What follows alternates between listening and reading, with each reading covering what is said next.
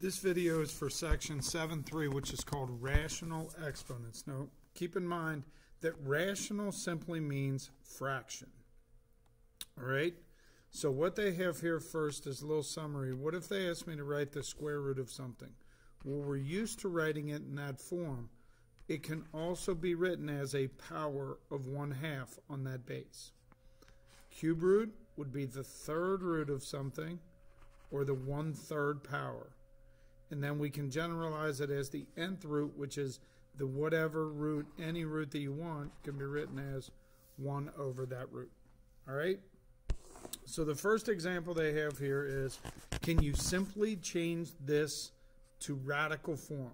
So one of the things that you have to be able to develop is the ability to change between radical form and rational exponent form. Now I have this entire base right here, 6xy, being raised to the 1 half power. Another way to write that is to just say it's the square root of 6xy. That's all that they want you to do here. Can you put it in radical form? Radical means with the root symbol. But now the directions change a little bit. For example, number two, and they say, can you simplify this? In order to simplify something that involves a fractional exponent, what you want to be able to do is to look at the base number again. So remember again, we're looking at the base, 625. And ask yourself, is there another way to write 625 with a power? So if I pull up my handy dandy calculator here, I know, for example, 5 raised to the, so in this calculator it's x to the y, 5 raised to the second power is 25. Well, that's, I need to get 625. So how about 5 raised to the third power? That's 125. How about 5 raised to the fourth power?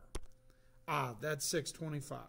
So 5 to the fourth is another way that I can write 625.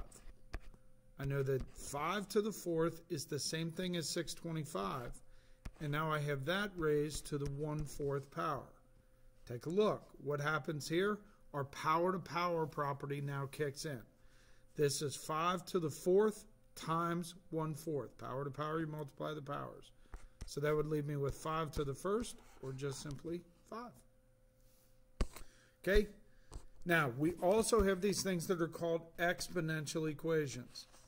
To solve an exponential equation, you have to get both sides of the equation to contain the same base.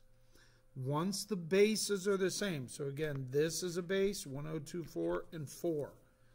Once those bases are the same value, then I can solve the equation that exists up in the exponents.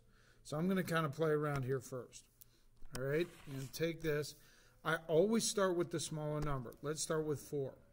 I think it's going to be raised to, let's say, the fourth power.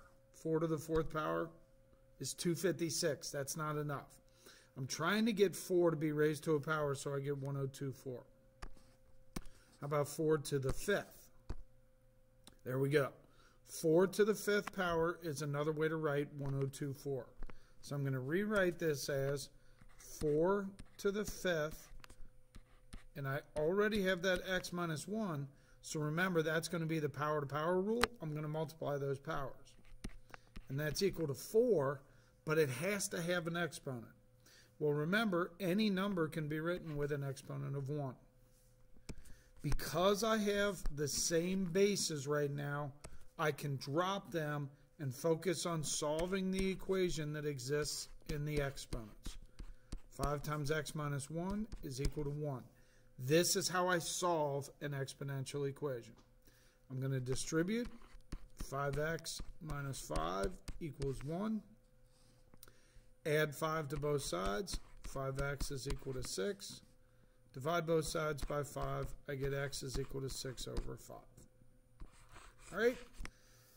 Exponential equations are a little tricky, so make sure you spend some time trying to learn how to do them.